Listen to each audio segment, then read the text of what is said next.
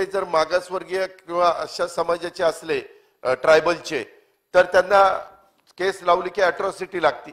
Atrocity लागली की तो शेतकऱ्याचा मुलगा तो तर इतका अडचणीमध्ये येतो धड त्याला हप्ताही देता येत नाही.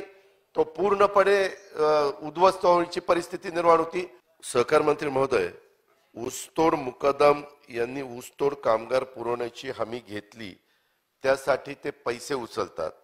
परंतु प्रत्यक्षात अलीकडं कामगारांचा पुरवठा म्हणजे तोडणी वाहतूक करणाऱ्या कामगारांचा पुरवठा ते करत नाही असे अनेक गुन्हे आपल्या राज्यामध्ये होत आहेत आणि हे गुन्हे उघडकीस येऊन प्रत्यक्षात किती लोकांच्यावर कारवाई त्या ठिकाणी करण्यात आली?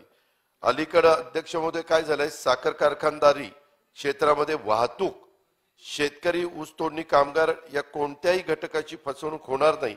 याकरता शासनाने काहीतरी ठोस उपाययोजना करण्याची गरज आहे ती आपण करणार का?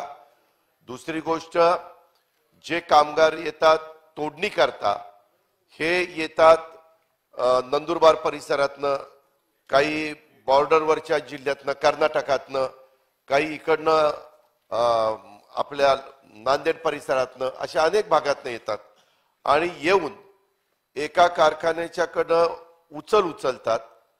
तिथं शेतकऱ्याचीच मुलं ते ट्रॅक्टर डबल ट्रेलर वगैरे विकत घेतात. आणि विकत घेतल्यानंतर काही लाख रुपये अध्यक्ष महोदय त्यांचे बुडवले जातात आणि ही टोळी. समजा मुश्रीफ साहेबांच्या कारखान्यातनं तिथनं पैसे उचलतात नंतर बबनदादांच्या कारखान्यामध्ये जातात तिथनंही पैसे उचलतात त्याच्यानंतर अशोक पवारांशी संबंधित कारखान्यात जातात. मी यांची नावं का घेतो? अशा प्रकारे अनेक वेगवेगळ्यांच्याकडे जातात. आणि यंदाच्या वर्षी हे प्रमाण एवढं वाढलं. आपण यांच्याकरता गोपीनाथ मुंडे साहेबांच्या नावाने एक म- महामंडळ काढलं. त्यांना मदत बाकीच्या बाबतीमध्ये झाली पाहिजे. पण ही जी काही फसवणूक होती ती फसवणूक झाल्यानंतर अध्यक्ष महोदय ह्यामध्ये केसेस तेच उलट घालतात. कारण त्याच्यामध्ये ते जर मागासवर्गीय किंवा अशा समाजाचे असले ट्रायबलचे तर त्यांना केस लावली की अट्रॉसिटी लागती. अट्रॉसिटी लागली की तो शेतकऱ्याचा मुलगा तो तर इतका अडचणीमध्ये येतो धड त्याला हप्ताही देता येत नाही. तो पूर्णपणे उद्ध्वस्त होण्याची परिस्थिती निर्माण होती.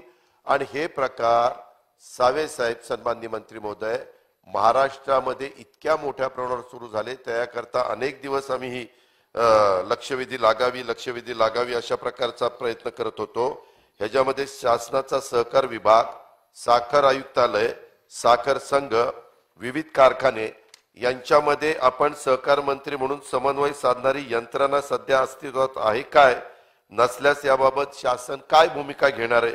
आणि ऊसतोड कामगारांची नोंदणी वाहतूकदारांची नोंदणी आणि मुकादमांची नोंदणी करून निश्चित योजना शासनाच्या वतीनं राबवण्यात येईल का? आपले कृषी आयुक्त आणि स्टाफ तसे खूप चांगले अधिकारी आहेत आणि त्यांना तुम्ही विश्वासात घेतलं तर मार्ग निघेल. मी आता ज्यांचा ज्यांचा उल्लेख केला त्यांना आपण बोलवा. आपण जरा वेळ द्या. आम्ही त्याच्यामध्ये येतो आम्ही सूचना त्याच्यात करतो. परंतु शेतकऱ्यांच्या मुलांना अतोनात त्रास होतोय साखर कारखान्यांना त्रास होतोय करोडो रुपये त्यांचे बुडवले जातात. आणि पुन्हा ऑडिटमध्ये निघतं की तुम्ही यांना ऍडव्हान्स कसा दिला? आणि मग बुडवले तर संचालक बोर्डाकडनं वसूल का घेत करायचे नाही? अशा खूप सावेसाहेब अडचणी निर्माण झालेल्या आहेत.